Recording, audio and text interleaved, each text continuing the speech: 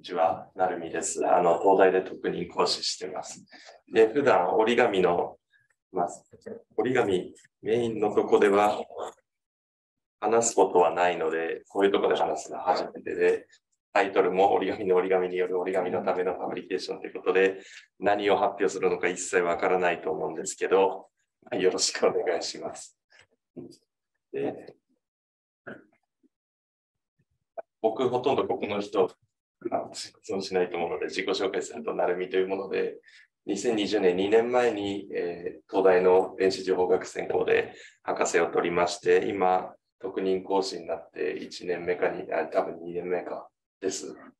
で、研究分野がヒューマンコンピュータインタラクションっていう分野でして、まあ、特に、まあ、もともとは人間と計算機のやり取りの学問なんですけど、ものづくりとかも最近すごく増えてて、処分類として computational fabrication とか、まあ、 touch surface じゃなくて形が変わるインターフェース、形状変化インターフェースとか、あと柔らかいロボットとかを研究してます。で、もうちょっと細かく言うと、ものの特殊な素材、例えば治っちゃう素材とか、34度で沸騰しちゃう素材とか、あとはメタマテリアルとか折り紙とかそういうものをうまいこと配置してやることで、これまでにないようなあのものを設計する服、プロダクト、食品乗り物。で、さらにまあ設計するだけじゃなくて、僕は作る方が、まあ、どっちかというと専門なので、インクジェットプリンターとか 3D プリンターで作って現実で楽しもうよということをやってます。で、まあ、このスライドいらないな。で、 computational fabrication っていろんな要素をはらんでると思ってて、まあ、素材の選択も難しいです。低沸点液体自己修復素材、あとはすごい頑丈な風船のドロップステッチファブリックとか、あとは形としてもシートを使うか、風船みたいなインフレータブルを使うか、まあ、ここのテーマの折り紙を使うかとか、あとは設計方法も手書きを受け入れるのかとか、GUI 使うのか、逆問題解いてやるのかとか、いろいろあると思います。で、製造はまあ一番めんどくさいやつですね。まあいろんな作り方を適用させなきゃいけない。で、これを現実の、まあ僕が今着てる服もそうですけど、プロダクト、まあその辺の壁とか、僕らが食べるご飯とか、今日は一切食品の話はしないですが、に応用する研究をしてます。で、まあこれが僕が普段やってることで、まあ紙にまつわるものは多いんですけど、紙じゃないものもあって、当然25分では絶対に無理なので、今日はそのうち3つ、より折り紙に近いものについてご紹介しようと思ってます。で、タイトルを決めるときに、ここで何を話そうかなって思ったんですけど、多分3つぐらいしか話せないってことで3つをまとめようとしたときに、折り紙のファブリケーションである話と、折り紙を使う折り紙によるファブリケーションと、折り紙のために使えそうな、まあ、アクチュエーターの3つを話すことにしようと思ったので、まあ、ちょっと某有名な言葉を利用したタイトルにしました。で、ただ話すときは時系列的に右からの方が話しやすいので、ちょっとこの言葉の順番だけ逆に右から話していこうと思います。最初の2つのプロジェクトは僕を知ってる人にとってはもう何も新しいことはないので、ちょっと、まあ、スマホとか見ててください。で、1個目はリキッドパウチモーターという薄くて軽くて柔らかいアクチュエーターというものでして、これどういうものかっていうと、お湯を張ったコップに今、リキッドパウチモーターを乗せると一人でに動き出す。で、これは今、お湯の湯気に反応して動いているんですけど、ご覧の通り別に線とかがついてるわけではないです。で、これはどういう原理かっていうと、まあ、寿司とか買ってきたらついてくるパウチの中に醤油ではなくて34度で沸騰する液体をほんのちょっとだけ入れてあげると、34度以上、まあ、人肌以上ぐらいに温めたときに液体が気化してだいたい200倍ぐらいに膨らむという原理です。で、まあ、超単純なんですが、それでも曲がるような動作とか、縮むような動作っていうのは一通りできまして、これはものすごい軽くて弱そうに感じるんですが、実際には3グラムぐらいのパウチでも、こんな風に3キロのものを持ち上げるというようなことができて、まあ、実は空気圧アクチュエーターの原理を空気チューブなしにやってるってことで、まあ、軽さと強さの両立ができてるということになります。で、まあ、このスライドいらないような気もするんですが、液体を入れるアクチュエーターって、例えばヘイズルアクチュエーターとかっていうのがあるんですけど、そういうのって水がパンパンに入ったウォーターベッドみたいなもので結構重いんですよ、実は。だけど、この場合、まあ、パンパンに膨らました体積の 0. 数パーセントとかしか液体は入ってないので、実はま手持ちサイズぐらいのアクチュエーター見ると液体が入ってるって実感はほとんどないです。なので薄くて軽くて柔らかくていいねということです。で作り方、まあ、僕作るのが専門なんで作り方について言うと2通りぐらいあって別に長方形じゃなくてよくて自由な形を作りたいときはフィルム2枚をハンダごてを持った CNC で動いて、まあ、形決めてやればいられとかで作った一点物の形を作ることができます。で、終わったら液体入れれば動くんで。で、逆に1000個、2000個一気に作りたいって時は、大きな袋にあらかじめ、まあ、計算した量の液体入れて横にすると、かなり表面張力が低い液体なので、ビローっと広がって、あとはガンガンガンガン溶着すればそれで一気に作れます。で、じゃあ何に使うのってことで、当時はロボットをやりたかったのでロボットやったんですけど、まあ、まず下の段について言うと、電気回路を作るのは結構もう簡単で、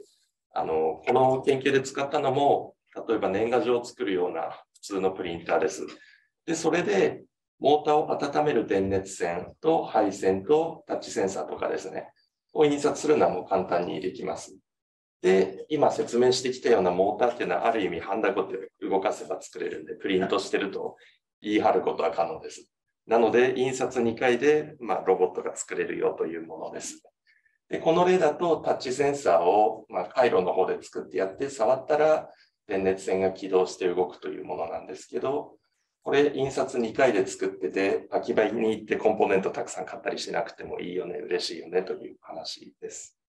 もうこの話超特急ですね。で、あの、この技術で結構展示とかたくさんやったんですけど、1個だけ紹介すると、ファッションブランドのアンリア・レイジさんとかと一緒にやったあ洋服、動く洋服の展示があります。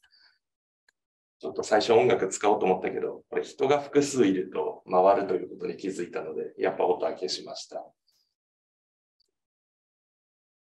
で、まあこれ動く服なんですが、機能が2つあるので、先にあんまり関係ないことから言うと、普段はこの服は真っ白なんですけど、外部から光が当たったとき、まあこれ、ちょっと現実だけで指さしますが、この輪っかが光って、そうするとその光った方向から見ると再帰性反射で色がついて見えるというものです。で、一個一個のコサージュの裏にはパウチモーターがついてて、まあこれずっと長期の展示だったから人が本当に着るわけにはいかないので、ペルチェ素子で人肌を再現して温めて冷やしてっていうのをやると、まあすごいゆっくりしたペースではあるんですけど、コサージュが動くというような展示でした。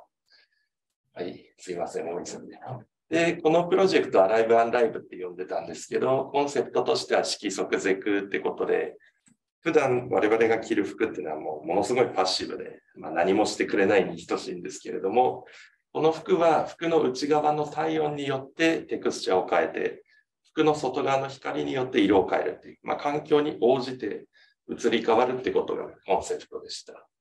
はい、早口ですね。で、次が2つ目のポップアッププリントってことで、これは折り紙によるファブリケーションでして、でっかいものを 3D プリントするのを折りたたみでちょっと楽にしようというものです。で、皆さん 3D プリントとかよくやるかわかんないんですけど、3D プリントをよくやる人からすると、背の高いものを作るときって結構問題があって、XY 方向は早いんだけど、Z 方向は時間がかかったりするので、背の高いものは印刷時間長いです。で、さらにサポート材って言って形を支えるためだけの素材っていうのがあるんですけど、それって終わったら捨てちゃうんですね。で、背の高いものを作ると、その捨てちゃうだけの素材もどんどん増えちゃう。で、しかも試作で 3D プリントするときって、まあとりあえずバンバン作ったのはいいんだけど、終わった後どこに片付けておくんだろうっていう問題もあったりして、3D プリントってできれば小さい方が嬉しいっていうことになります。で、これ完全にさっき同じスライドっていうか写真出てきたんですけど、着目したのが、畳んでおけばいいやってことで、カブトムシの聖地は角が、まあ、でっかいですけど、これ、さなぎの中で畳んだ状態で作られている。ってことは、まあ、これを応用して、丸2番を作りたい、丸2番の形を作りたいときも畳んでおいて作ってから、まあ、展開すれば早いし、素材も少ないし、収納もできるねということです。で、そういうコンセプトで作ったのが、まあ、この技術です。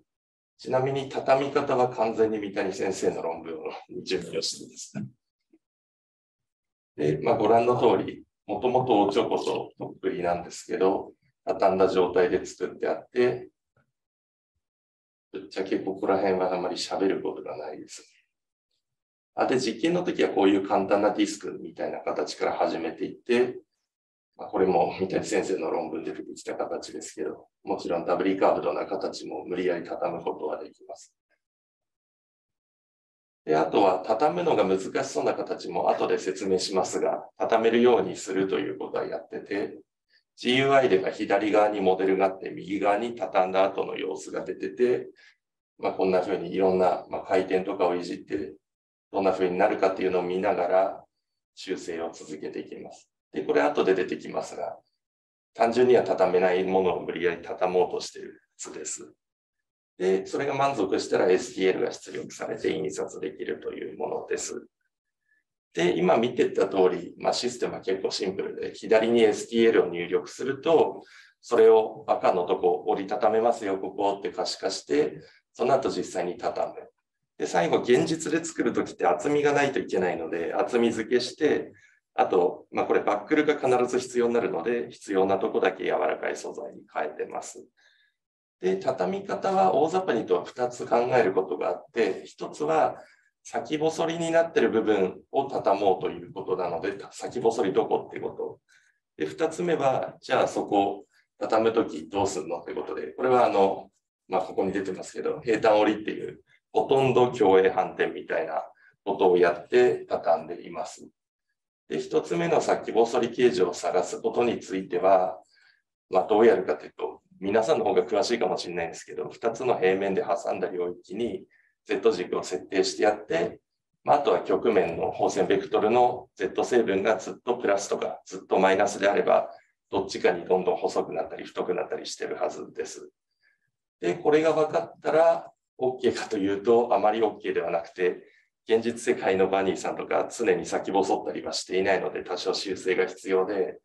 まあ、このモデルの輪切りを作ってあげて、その輪切りを一つの面に乗せてあげたときに、もしどっかに交点があれば、それは先細りではないと言えますので、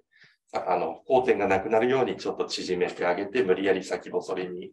変えるというようなこともやってます。で、じゃあ先細りにできたぞ、畳むぞってことで平坦折りするんですけど、これにも問題があって、例えばこれ、僕の知り合いが論文読んで、あ、作ったよ、畳んだよって持ってきたんですけど、あの、畳んだって開けなきゃ意味ないんですよね。で、これ引っ張って引っ張って何の意味もなく戻っちゃってるんですけど、相安定性がないと、ポップアッププリントはできないので、まあこれを相安定にすることもやってます。で、時間全くないので喋んないんですが、相安定性を計算するために、すごいいろんな形を印刷して、実際に機械試験して、まあ、式を、まあ、統計的に出しているという方法で、それは解決してます。で、実際にインタラクティブなソフトウェアで何してるかっていうと、ちょっと動画で出てきたけど、左上の緑の部分はもう畳んである部分。赤はこれから畳むことができる部分っていうもので、まあ、下の段のバニーの図にあるのは、ここを畳みたいんですけど、ちょっと先細りにしてくださいということでドラッグすると、ちょっとなるべくバレないように先細り可能にするというものです。で、じゃあ当初何言ってたかっていうと、印刷時間減らしたい、サポート減らしたい、で収納したいということだったんですけど、めちゃめちゃ都合のいいモデルだったら印刷時間とかサポート在庫分の1ぐらい。で、例えば上のとっくりだと割と都合がいいので印刷時間半分ぐらいとかになってます。で、もちろんこれ邪魔な時は畳んでしまえるので、ある意味これキャンプで使うコップの一般化作る装置とも言えます。で、これはもしかしたら見たことないのかも人によってなんですけど、別にあの平坦折りで畳むと形に制約があるから適当に畳んでいいっていうことを許すならば、まあ何でもいいやってことで、これ五十嵐先生と一緒にやったんですけど、3D 空間で上から合体が降りてきて、それで無理やり潰してしまって、その状態で作れば、もちろん全く相安定ではないんですが、空気入れて膨らませば一緒だろうってことで、まあ、あの、それを復元するということをやってます。で、これはすごくナイーブな成果なので、まあ、シーグラフポスターでちょっと喋っただけなんですが、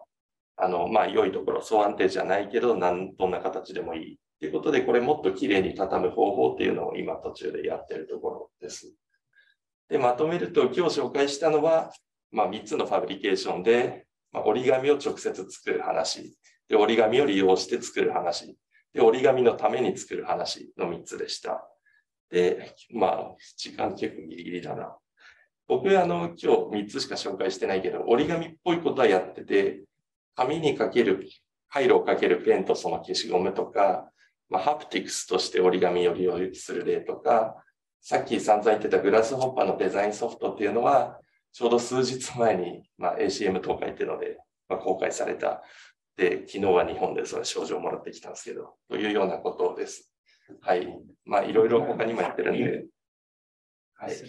また聞いてください。以上です。ありがとうございます。ありがとうございます。